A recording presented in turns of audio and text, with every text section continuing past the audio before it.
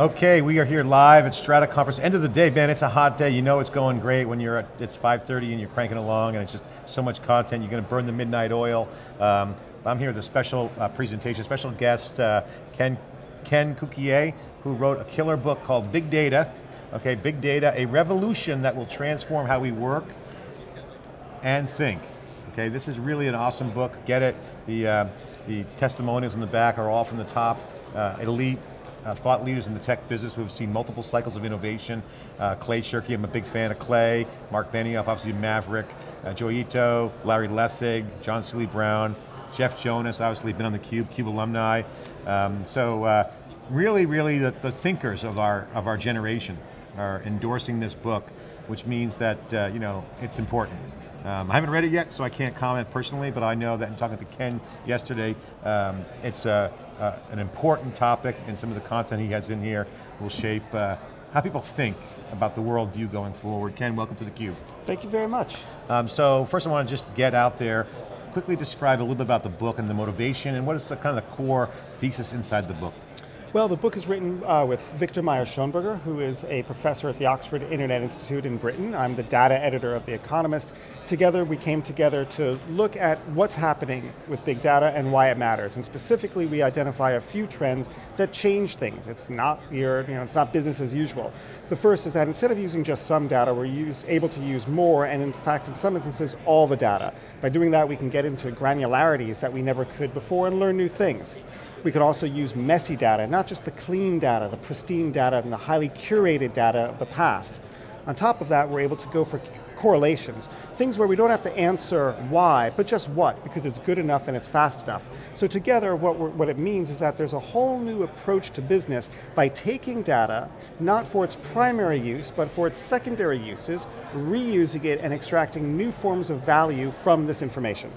So, as the economist editor of the data, uh, edit data, edit, managing, excuse, what's editor of data section yeah. of the Economist, which means you look at you know, data points for all the things, right? I mean, That's right. take us through that job, and then we're going to, I want to bring that into the book because I think you know, the Economist got a great reputation. They know, everyone knows that, that credibility, but you guys are sourcing all kinds of stories there. What, what specifically is your role over there? Sure, well, it's actually two separate things. So my day job is thinking about data and using data, looking in, at all of the issues that we cover and how there's a data dimension to it. So if we're looking at, for example, the conflict in Syria, there's an absolute data dimension. You might want to look at the combatants both on in terms of the military and the paramilitary, and, and the deaths there and the, the injuries there, and then look at the civilians, and you get a whole new approach by looking at the civilian casualties and look at the, at the refugees rather than just the casualties, just the, the mortality of the soldiers themselves. So that's a way with which we use data to inform our coverage. Now that's sort of secondary, if you will, that's data visualization, and that's how we tell stories in the media, but it's a little bit different than the way that business is implementing data, which is, if you will, not my day job as the data editor of The Economist, but thinking about big data and what it means, what's to play for, for new companies, whether they're startups that are doing analytics, or whether it's old companies like General Electric or Nestle that have huge pools of data that all they need to do is unlock it with the right, with the right mojo. Well, let's talk about that. So, like, so one of the things we've been saying on SiliconANGLE.com and here in the Cube, certainly over and over again, at least the past two years, but Strata seems to kind of elevate the conversation. Maybe a little bit at Hadoop Summit, it was mostly a geek crowd, but here you got a little confluence of business, business mind, business visionaries, also tech alpha geeks, um, and uh, also now data scientists like yourself. So, so, and for the we say for the first time in business history, uh, ever in the evolution of the human race, you can actually instrument the business model of a company end to end. Everything. Right. I mean, Absolutely. everything's measurable now. Uh, hiring, firing, suppliers, customers, su support, you know, the Zappos uh, kind of support on one hand to using big data. So a massive re-engineering is coming. That's right. Right down the tracks. Exactly. And it's coming fast. Right? That's right. And so, you agree with that? Obviously. 100%. In so, fact, uh, what we're finding is that data is becoming the new form of corporate literacy. we have seen this before. We have seen when uh, companies needed to retrofit themselves for a data deluge when the information was financial information. At the turn of the 19th century, we had disclosure requirements, we had a whole generation of bookkeepers and clerks that became accountants and auditors. We had to create a whole new professional class to deal with information and the information was accountancy. Right? We didn't have that as a practice before, we didn't have the standards, didn't have the norms, didn't have the professional institutes, we didn't have the training. We are now doing the exact same thing for a new form of literacy and numeracy called big data. It's called analytics, it's business intelligence, and here we need to create a new generation of business leaders, we need to create new professional bodies, we need to create new schools, and this is going to be our great our generation's great infrastructure project, like we saw with the modern techie greatest generation of the academics that then created the internet, we are having a new generation of math whizzes and statistics people, machine learning and AI people, creating this generation's way to optimize the enterprise through big data. Well, it's a revolution, I totally agree with you, but think about this, right? I mean, I mean, what you just said, the, how profound that is. Just the, our generation, you talk about you know, a once in a, in a multiple generation inflection point of massive change. I mean, massive change. And, and if you look at open source, at the open source economy, right? What has, how that has evolved. If you look at the data world, the liberation of data, it's free. We talk about transparency. Now you have frictionless sharing, all kinds of rights going on, data yep. rights. Mm -hmm. So open source drives around basically three major things. Training, yep. which is awareness, skills gaps management, how do, you, how do you get people skilled, and then implementation. That is what we're seeing. Now, let's break that down. Training. Okay, we're doing conferences, we're at the big dawn of this, right? It's beginning skills gap. What can you share with the audience out there around skills gap? Yeah, you know, the high level, you know, oh, multidisciplinary, blah, blah, blah, but let's drill down. And what are you finding with skills gap? You know, there is a skills gap. It's going to get fixed because if we had this conversation in 1960 and we were talking about the skills gap in programming, we would have said there wasn't enough software programmers. McKinsey, punch carders. Yeah, exactly, punch carders. Well, by, by, by the 60s it was actually software, but what we would have found was that uh, McKinsey would have come up with reports with, with hysterical numbers saying that there's not enough uh, professionals in this area, and by 1970s we still would have a shortage, but we certainly have enough, and by the 80s as well. Yeah. Even today we have, a, we have a shortage of extremely talented programmers, but we don't have a skills gap when it comes to programming. Same exact same thing is going to happen with big data. Yeah, we yeah. are going to remedy this. The, what is what seems you don't think it's a problem. You think it's no. just natural evolution, things will fill the, fill the gap Here's quickly. what's happening. What seems to be abundant today is actually scarce, and what seems to be scarce today is actually, will become abundant. So what seems Can to be scarce, yeah, what seems to be scarce is the talent, and the mindset, and the creativity that's going to become commoditized because everyone's going to get it. There, nobody doesn't. Nobody in corporate. Nobody in corporate America. Yeah. Nobody in corporate America doesn't get the internet today. Now it's just going to be an optimization play. Big data is going that way as well. So what seems abundant? It seems that the data is abundant. It seems like we have information everywhere. The fact is, the reality is that the data is going to be what's scarce. That's going to be the critical resource. And what we're having is a sort of gravitational effect that the largest companies with the data are collecting even more data, and the companies with, with a little bit less data on a proportional basis, on a relative basis, have less. So where now we have to focus is collecting the data. So that explains why we're seeing a huge land grab in terms of companies reaching out and getting the data, because that's where the value is going to lie. That's awesome. I totally agree with you. Now let's get back to the implementation now of, of uh, work, home life, education, and society. Okay, global namespace is called the world, Earth. That's right. It's one nation now, yep. right? Global data is not you know, well, Germany would argue, right? so, so let's talk about the global impact of data, right? So that also supports your scarcity argument. You know, LinkedIn doesn't share their data unless you OAuth in. That's exactly right. And you go into foreign countries, all kinds of mandates around data policies and privacy. That's right. That's going to create some bottlenecks. Well, that's exactly right. I mean, what we're seeing in Europe right now against Google by the European Union is essentially the first big data regulatory proceeding. And we're going to see more of these things, just as Microsoft was under the gun for its its, its technical standards and the middleware of, of, of software and adjacent markets, we're seeing essentially the same debate now being played for data with Google, but it's not just going to be Google, it's going to affect startups, it's going to affect larger companies as well.